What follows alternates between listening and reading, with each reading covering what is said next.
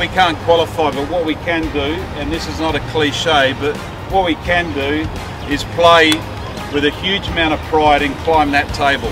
And I think our push and our focus needs to be very much about finishing with a winning note because we know what's in front of us and we've got an exciting future as a group of players going forward into 23 and beyond. So make sure we're finishing with that, that, that sweet taste of success and that opportunity to nail down that song again. Let's make sure we give it one big push.